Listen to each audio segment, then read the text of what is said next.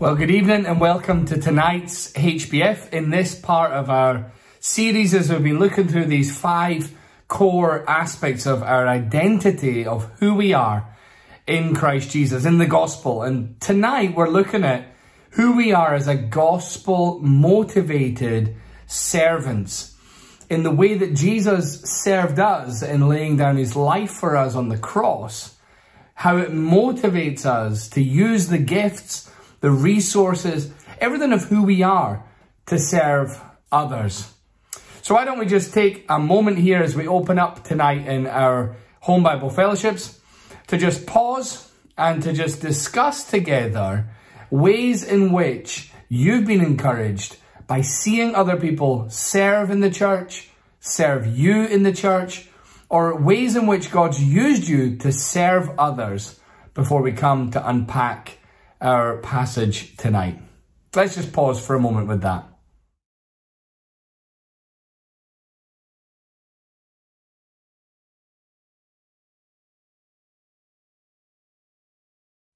I'm sure there's been lots of ways that you've been encouraged to hear how people see you serving in the church and you've been able to encourage others in ways that they serve. We're going to turn to God's word here as we think about who we are as a gospel motivated people who serve. Now we're going to look in First Peter and this letter that Peter writes, uh, Lord willing, we'll unpack next year in a sermon series as we look in focusing on the whole year as who we are as a gospel motivated servants, as a people.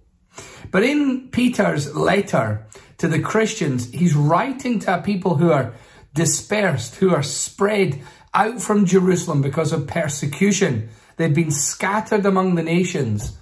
And he writes them to encourage them that God has a purpose in their struggle.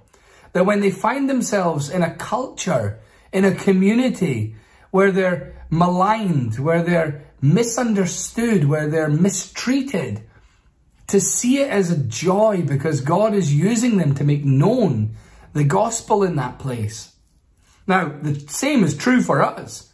We are a minority in the culture in Scotland today. We may live in a post-Christian world where Christendom, where the church was the center of society at one time 50 years ago, 100 years ago. But we now find ourselves, if we think about it, misunderstood. We're, we're looked at by the community around us as strange, we're supernatural people who talk about miracles, who talk about spiritual experiences. And we're looked at and we're thought of as strange. But let's turn together to our text here. 1 Peter 4, starting from verse 7 through to verse 11. Let's read together.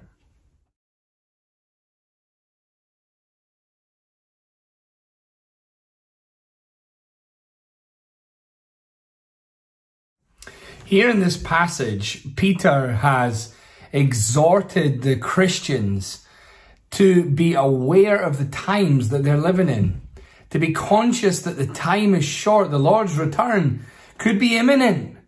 We are living in the end times, the end of all things is at hand. And so he says to them, be self-controlled, be sober-minded, have clear thoughts about the church, about your life, about the decisions that you make, about what you commit your time to, your treasures to, your talents to. Peter here is telling us in the church too to be focused, self-controlled for the sake of our prayers. And so first of all, as we spend some time here tonight, as your home Bible fellowship, as we think about these things, I wonder, what are your prayers? What are the gaps that you see in the service in our church that you've been praying for? Perhaps you look at people that you feel like they're not being cared for well. Perhaps you look at areas in the church where you see people serving and being stretched and, and burned out and you think, I wish there was more people that would come alongside and help in that area. In what ways are you praying for the sake of your prayers that God would do something? And in what ways do you see people uh, praying and serving. And it, and it thrills your heart to see God responding and answering those prayers. I know for me personally, we've been praying together as elders for Gavin and the children's ministry for some time. I was serving previously in the Wednesday night Illuminate, and there was a real need for leaders there. There was a real need for a team to be brought together because it was a new ministry. Well, praise God. I look at it now and I'm not even there serving anymore. There's a, a vibrant, thriving team alongside Gavin and Joanna. Uh, and it, and it thrills me to see that every Wednesday night. So what areas do you see God answer in prayer, causing people to serve? Or what areas do you see there a need for people to step up and serve in our church fellowship?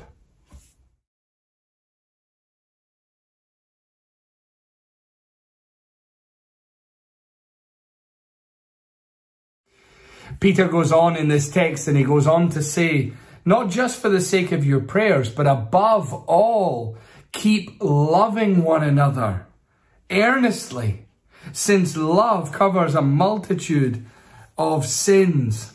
Show hospitality to one another without grumbling. As we express our love for one another, and as we express our love for those in our community, I wonder in what ways do we see people serving in the gifts of hospitality? Sure, there are home Bible fellowship leaders in the home that you're sitting tonight that are hosting you, that are showing hospitality. But I wonder in what ways has someone shown love and care, has been hospitable to you, and this has been a huge blessing in your Christian walk. Perhaps you could share with the group how people using this gift of hospitality, serving in that way has been a huge impact in your Christian walk. Or perhaps share what ways you can serve. We can show hospitality with one another and love with one another without having them in our homes. We can take a meal round. We can just serve them uh, at the church, ask them if they want a cup of tea or coffee, go and get them what they need. We can show love and care and hospitality in many different ways. So why don't we just spend a few moments together discussing what ways have you been blessed by someone's love and hospitality as they've served you?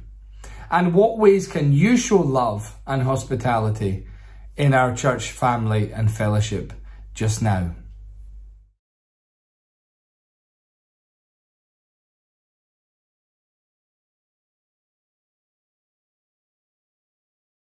The final portion of the text that Peter writes and exhorts the church to is not just to be self-controlled and to be clear-minded in their prayers, not just to love and show hospitality, but look in verse 10.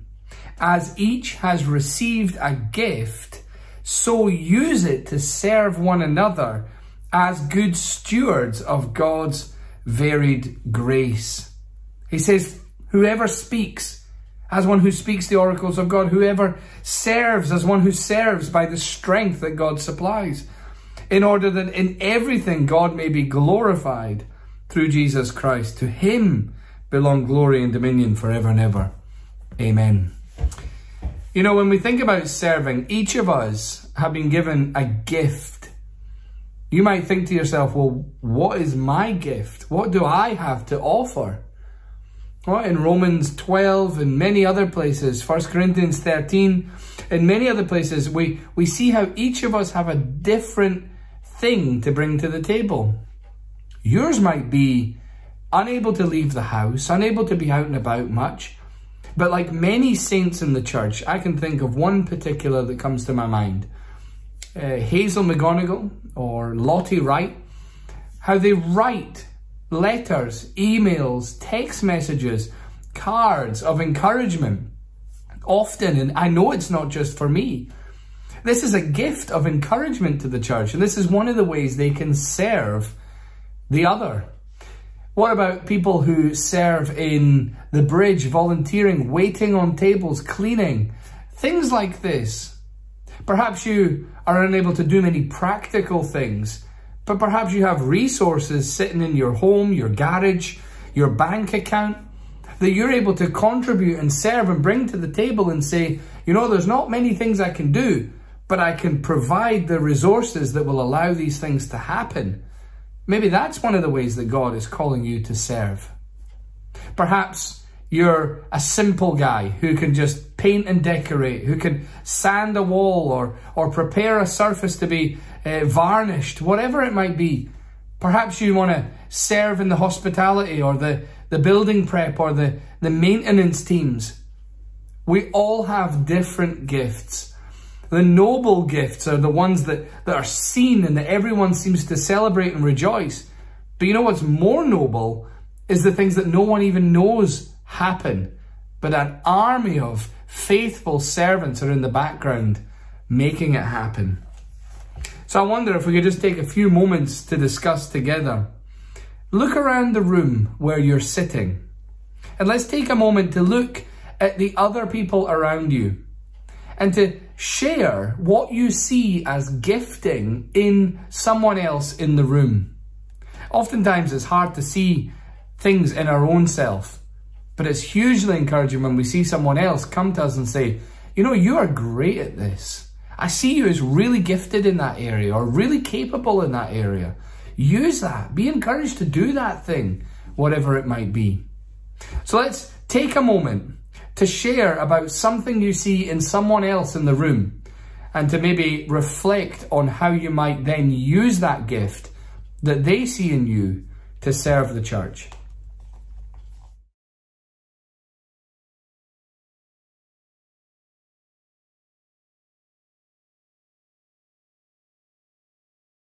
So how are you going to serve?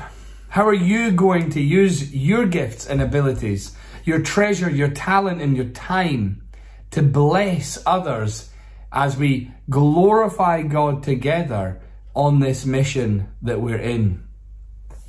Here's just a few things that I'll have on the screen here. How about serving in the children's ministry? There's always a need for people to come alongside and facilitate. Maybe it's even just checking people in.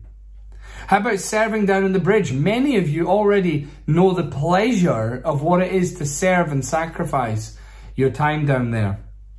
How about serving in the administration team? You know, there is great needs in administration in the church at this time. We're a growing church. Lots of things happening. How about serving, if you have a gift of communication, in helping to coordinate news and updates and things that are happening in the life of the church? How about serving in the audio or visual team at the back that help run services? You know, no one even hardly notices them there, but they perform a vital service in making the sound and the audio work, making the screens work. How about coming under Stevie G and being trained to run the computer like that? How about serving in the building maintenance or the building preparation teams?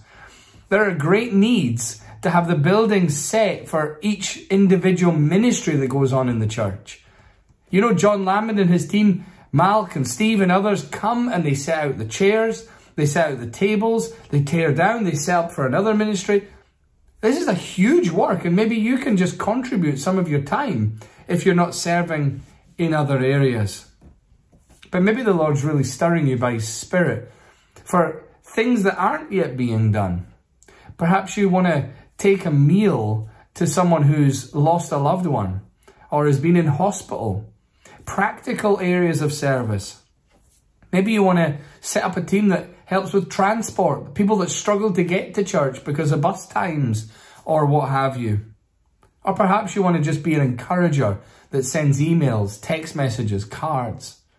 Whatever it is that the Lord's doing, what is he calling you to do as we focus next year on being a gospel motivated people who serve.